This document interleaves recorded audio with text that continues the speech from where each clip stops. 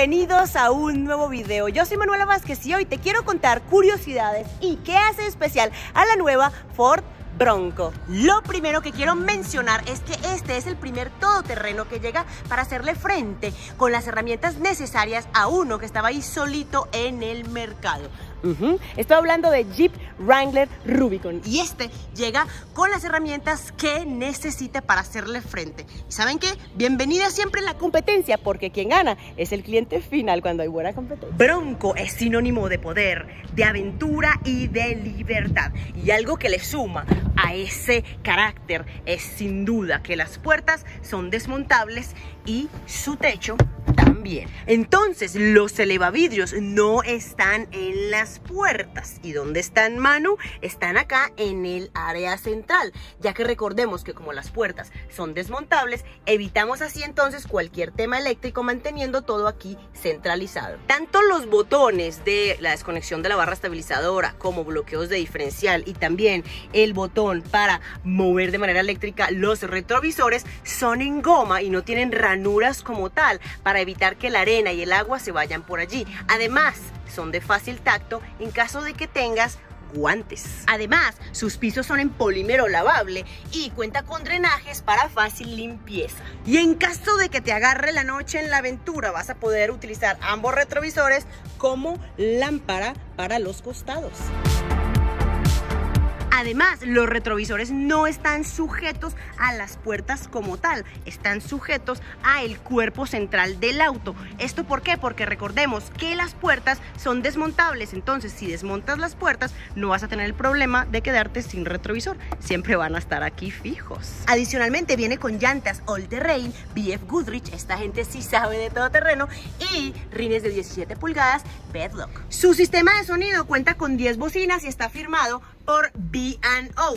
Y recordemos que como las puertas son desmontables, entonces algunas de ellas están montadas en los parales para que la fiesta nunca pare independientemente tengas puertas o no. Sus modos de manejo, la marca los llama GOAT, pero no por Great of All Times, sino por Goes Over Any Terrain. Ambas guanteras tienes la posibilidad de cerrarlas con llave. Mira la central también la vas a poder cerrar con llave. Y aprovecho y les muestro su llave, muy bien bronco, se siente sólida, me gusta la sensación. Y desde la llave vas a poder, por supuesto, bloquear seguros, abrirlos también y encender el auto, como también activar el pánico en caso de que sea necesario. Bronco cuenta también con buena conectividad. Tenemos acá un cargador inalámbrico para celular y adicionalmente dos salidas de puerto USB, una tipo A y una tipo C.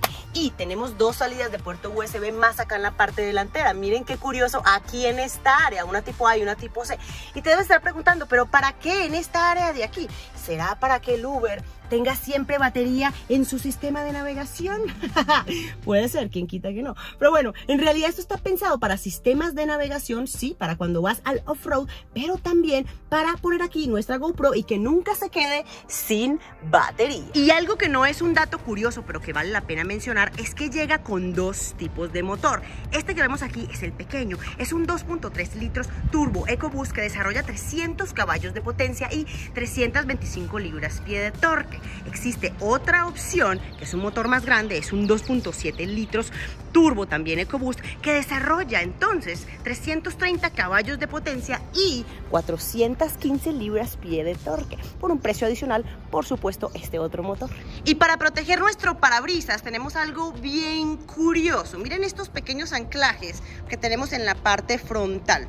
Esto está pensado para amarrar desde aquí un cable hasta acá, hasta las barras superiores. Y este cable con este ángulo entonces, cuando las ramas vengan en el todoterreno a dañar nuestro parabrisas, no lo logren ya que este cable va a evitar que le den al parabrisas. Los tornillos están a la vista, tanto en la parte exterior como en la parte interior. Y sí, eso lo tienen muchos autos de carácter rudo, ya que le suman a esa rudeza. Sin embargo, aquí vamos un paso más allá. Miren este detalle. Cada tornillo dice Bronco. Detalles, detalles. Y la cosa no para aquí.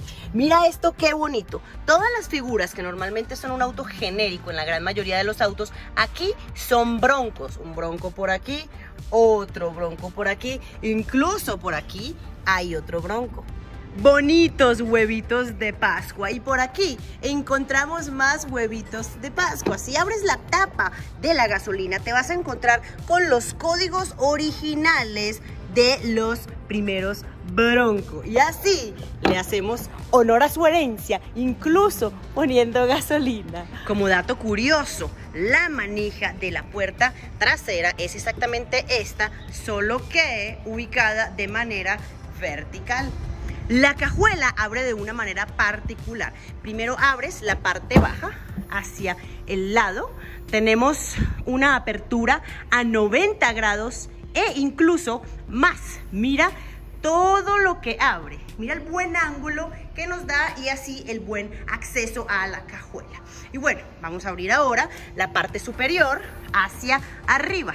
Y tenemos un muy buen espacio para ingresar a nuestra cajuela. Adicionalmente, algo interesante es que aquí tenemos otro huevito de Pascua. Aquí en el centro tenemos un pequeño bronco adicional. En el frente también encontramos más huevitos de Pascua, justo en los faros que también hacen honor a su herencia y que le suman a esa sensación retro que tiene la máquina en general. Y miren aquí el huevito de Pascua, no sé si lo alcanzan a ver, aquí hay un bronco y algo que particularmente es cómo se ve de bien, ese emblema de bronco grandote en la parrilla frontal. Y su precio para esta versión, que es la versión Badland, que debo de mencionar, es la versión más capaz para el todoterreno. Como puedes ver, toda la parte frontal es metálica y tenemos múltiples anclajes, la posibilidad de tornillos en múltiples partes para así tú poder utilizar esto de manera muy versátil y eh, anclar aquí accesorios. Adicionalmente, tenemos ganchos de arrastre y también toda la parte baja es una placa metálica que va a proteger nuestros componentes mecánicos. Tiene un precio de 1.446.000 pesos mexicanos, lo que son aproximadamente unos 72 mil dólares americanos. ¿Y saben qué? Vamos a darle una vueltica a ver qué tal se siente. Venga.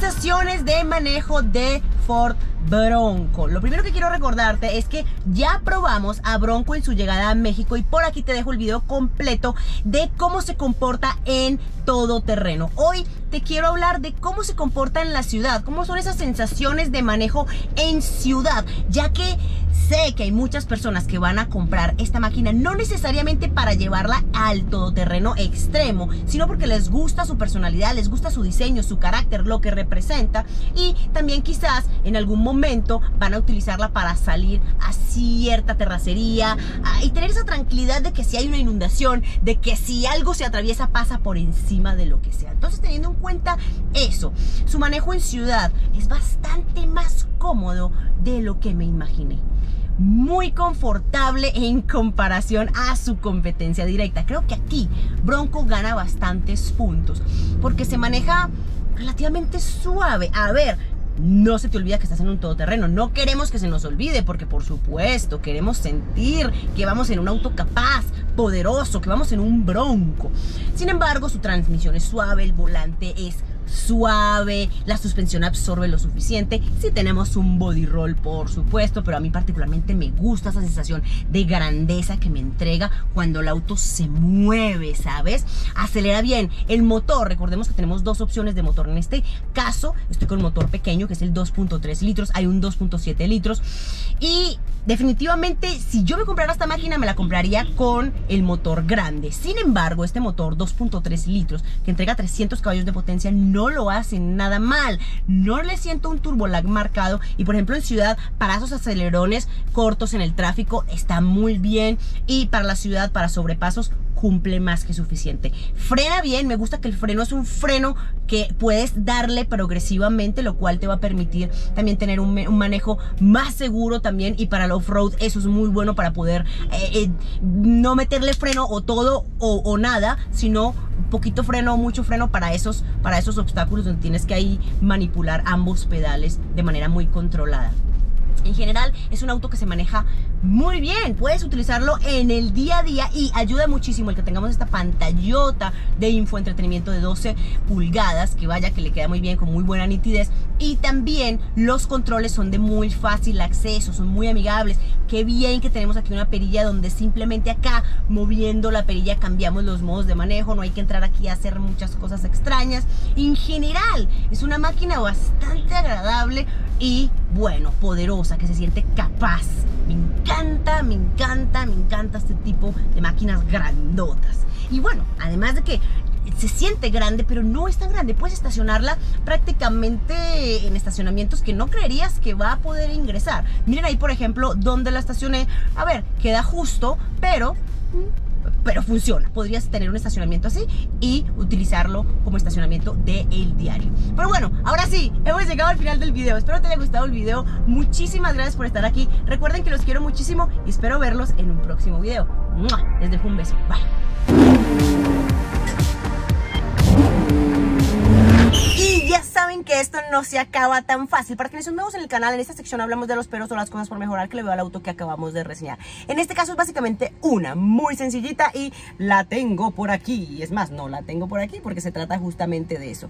Es una barra que va de lado a lado aquí en esta área, que no solamente le da estructura al auto, sino que me da seguridad cuando yo quito el techo y eso Rubicon sí lo tiene. Entonces debo de mencionarlo porque aquí nos quita algo de puntos en cuanto a seguridad en caso de que quitemos el techo porque nos dejaría muy desprotegidos acá. Es una barra que en caso de volcamiento puede protegerte si está, pero aquí no la tenemos. Entonces creo que eso debo de mencionarlo. De resto es una gran máquina. Me encanta el diseño exterior, el interior, su performance a todo nivel, tanto para el off-road, pero también para la ciudad. Puede ser un 4x4, un todo terreno más amigable con el día a día, es cómoda, es segura, tiene muy buena conectividad. En general es un maquinón. Felicidades a Ford por el buen producto. Creo que eh, la lograron muy bien, muy, muy bien lograda. Cuando hacemos un préstamo a largo plazo, yo estaría feliz con esta máquina unos mesecitos. Ahí, ahí me escuchan ustedes. Señores de Ford por favor.